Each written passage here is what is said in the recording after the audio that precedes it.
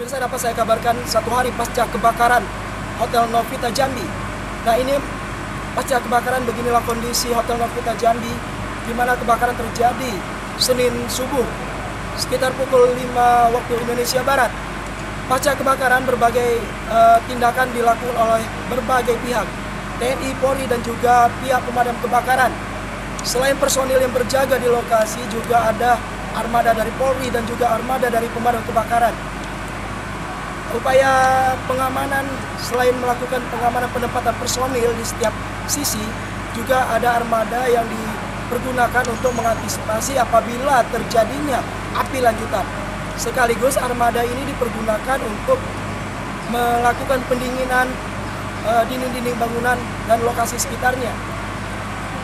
Nah inilah bentuk dari pasca kebakaran ada eh, puing-puing uh, kaca puing-puing kaca dan puing-puing runtuhan bangunan dan juga uh, tanaman di sekitar Hotel Novita Jambi tampak rubuh yang sengaja dirubuhkan untuk waktu pemadaman kemarin yang dirubuhkan agar petugas dapat bekerja dengan maksimal.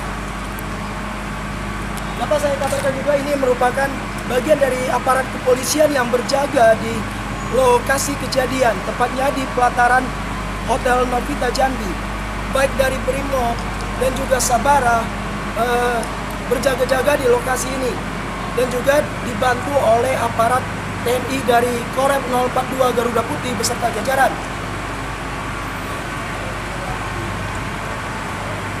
Ini juga untuk dari eh, penjagaan dari petugas pemadam kebakaran Kota Jambi yang bersiaga di lokasi sejak tadi malam bersama TNI dan Polri. Nah, saya dapat kabarkan juga bahwa sejauh ini api telah e, berhasil dipadamkan, di mana api e, terjadi di lantai 4 Hotel Novita Jambi. Selanjutnya api meluas merambat ke setiap bangunan di hotel tersebut.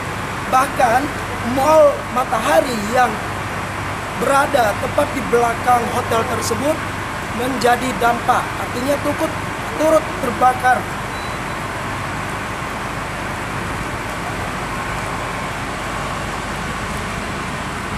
Nah ini uh, saya kabarkan juga bahwa selang dari petugas pemadam kebakaran kota Jambi uh, sudah berada di dalam ruangan di mana penjagaan ini itulah seperti yang saya kabarkan tadi untuk melakukan pendinginan ruangan demi ruangan di hotel berbintang ini dan juga sekaligus untuk mengantisipasi terjadinya api lanjutan.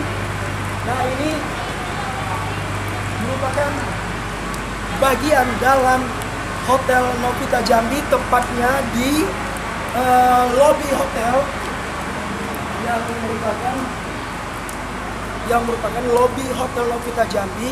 Nah ini bagian bukan bukan sebagai uh, tempat asal api di mana sejauh ini asal api uh, diketahui dari kepolisian dan juga pengakuan dari pihak hotel berasal dari lantai 4. Apakah asal uh, pemicu terjadinya api masih dalam penyelidikan oleh kepolisian?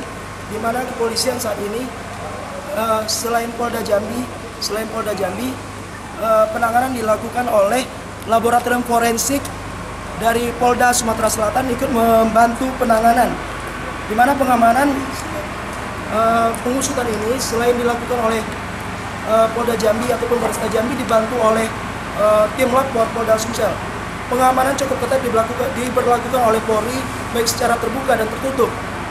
Selain melakukan pengamanan bangunan, juga Polri melakukan penyelidikan keluar untuk mencari asal usul uh, perkara ini terjadi.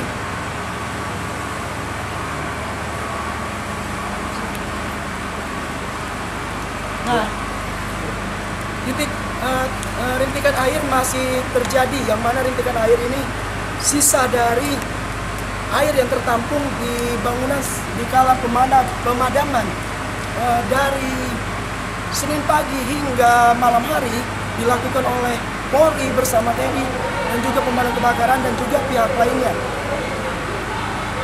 Ini laporan saya dari Hotel Novita Jambi. Doli Maulana, Jambi TV.